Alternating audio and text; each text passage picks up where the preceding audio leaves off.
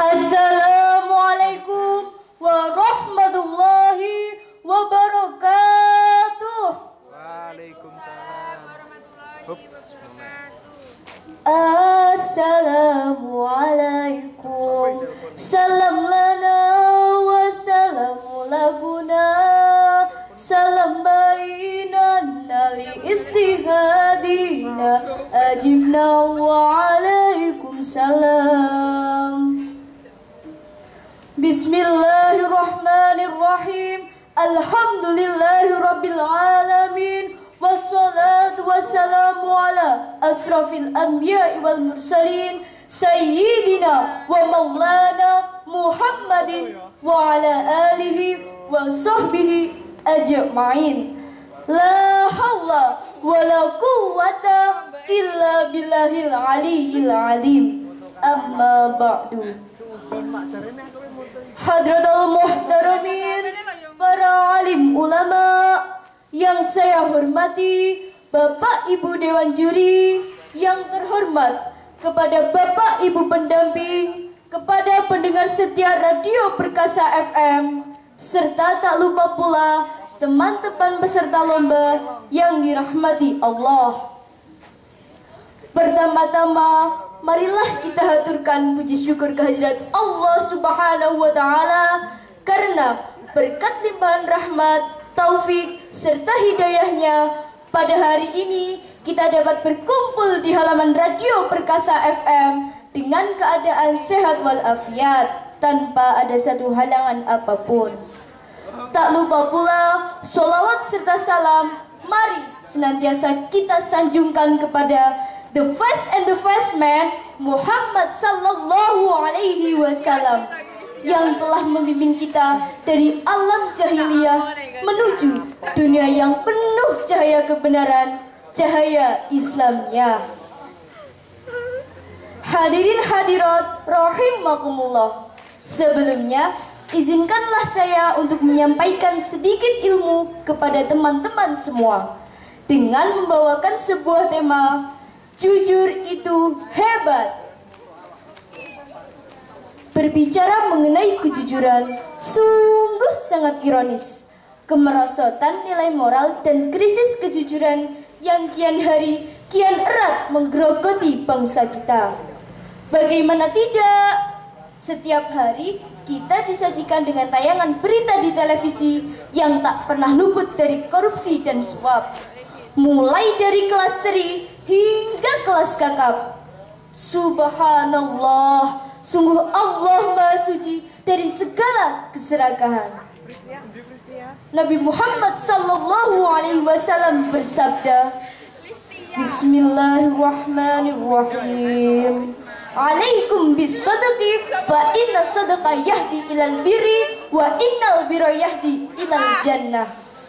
Artinya, hendaklah kalian selalu berlaku jujur karena kejujuran membawa kepada kebaikan dan kebaikan mengantarkan seseorang menuju ke surga. Dewan juri yang dirahmati Allah, dalam hadis ini Rasulullah Shallallahu Alaihi Wasallam memerintahkan kepada umatnya untuk senantiasa bersikap jujur, baik dalam perbuatan maupun perkataan. Jujur adalah sifat terpuji yang harus dimiliki setiap insani. Dengan berlaku jujur dapat menuntun kita kepada kebaikan dan kebaikan tersebutlah yang mengantarkan kita menuju ke surga. Jamaah, eh jamaah, ada yang tahu tidak apa kebalikan dari sifat jujur? Iya, betul sekali. Kebalikan dari sifat jujur adalah dusta. Hmm, apakah di sini ada yang pernah berdusta? Alhamdulillah tidak ada. Semuanya di sini soleh dan soleha. Di antara tanda kejujuran adalah tenangnya hati. Dan sebaliknya, di antara tanda kedustaan adalah kebimbangan hati. Sebagaimana sabda Nabi Muhammad wasallam yang berbunyi, A'udzu billahi minasyaitonir rajim. Bismillahirrahmanirrahim. Inna sadaqah tumakninah wal kadibu ribah. Artinya, kejujuran itu adalah ketentraman dan dusta itu keraguan-raguan. Jadi, orang yang selalu berbuat jujur, maka ia termasuk dalam golongan orang-orang yang beruntung. Artinya, ia beruntung di akhirat dan beruntung di dunia. Ada sedikit kisah yang ingin Mirna sampaikan kepada pendengar setia Radio Perkasa FM. Kisah seorang budak penggembala yang jujur pada masa Khalifah Umar bin Khattab. Suatu hari, Khalifah Umar melakukan pemantauan ke daerah hingga bertemu si penggembala. Lalu, Khalifah Umar berkata, Hai penggembala, mengapa kau tak mengambil satu ekor kambing dari ribuan kambing milik tuanmu? Pastilah tidak akan ketahuan. Kemudian penggembala itu menjawab, Tidak wahai Khalifah, meskipun tidak ketahuan, tapi Allah maha mengetahui. Mendengar jawaban si penggembala tadi, Khalifah Umar menemui si tuan penggembala, lalu menceritakan bahwa budaknya sangatlah jujur. Dan kemudian si budak penggembala tadi diberi hadiah lepas dari perbudakannya. Hadirin hadirat rahimakumullah. Allah Subhanahu wa taala berfirman dalam Al-Qur'an surat At-Taubah ayat 119 yang berbunyi A'udzu billahi minasyaitonir rajim. Bismillahirrahmanirrahim. Ya ayyuhalladzina amanu taqullaha wa kunu ma'as shadiqin. Artinya, hendaklah kalian selalu berlaku jujur dan kejujuran adalah sebagaimana yang dilakukan orang-orang yang benar. Nanti, bila saya bilang berani jujur, teman-teman menjawab dengan hebat, dengan tangan terkepal ya.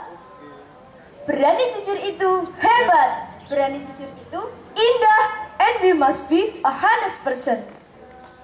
Sedikit pantun yang ingin saya sampaikan sebelum mengakhiri ini.